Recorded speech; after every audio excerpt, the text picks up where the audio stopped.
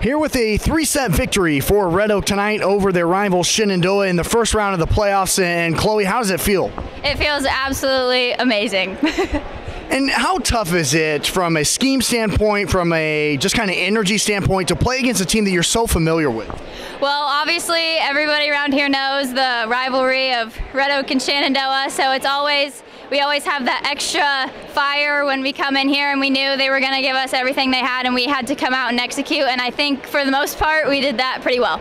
You got off to a really great start there in set number one, but set number two, you guys found yourselves down three points there late. Uh, you had a timeout. What was said there in the huddle? Um, get your crap together, pretty much.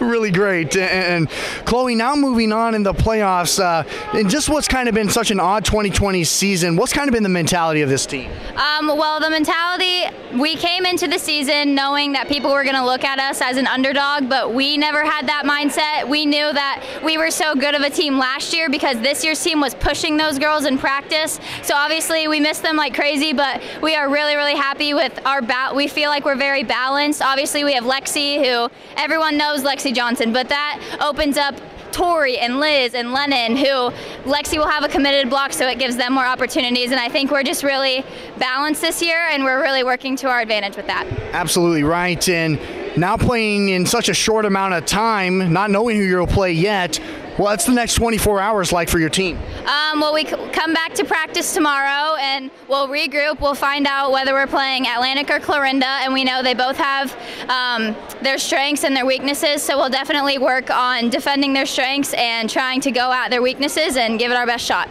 Congrats on the win, Chloe. Good luck in the postseason. Thank you very much. Here with head coach Montgomery after the win and the sweep for Red Oak after a very familiar Shenandoah opponent here in first round of the playoffs here in the state of Iowa. And coach, thoughts on tonight's match? Um, you know, I thought it was a really good like first match out. Uh, it's you know this kind of when you don't play till seven, you don't have like the typical freshman JV matches in front of you. You just have a lot more time. So I was really impressed with how we came out hot right out of the bat, right out of the gate, um, and just kept that energy. You know, a lot of times we you kind of ebb and flow, and you have those ups and downs. And so I was really really proud of the girls for coming in, staying sharp right out of the bat, and keeping that energy going. So. Yeah, absolutely Ryan. You started out really strong, but there in set number two, you guys found yourselves down three points, called a timeout, went on a big run. What did you say in that timeout? I just, you know, told them a lot of it was our errors. I mean, credit to Shenandoah, they did a good job of like looking for those tips and finding ways to kind of pull us out of what we wanted to do too, and a good team will do that too. So I just kind of pointed out to them we were making some unforced errors.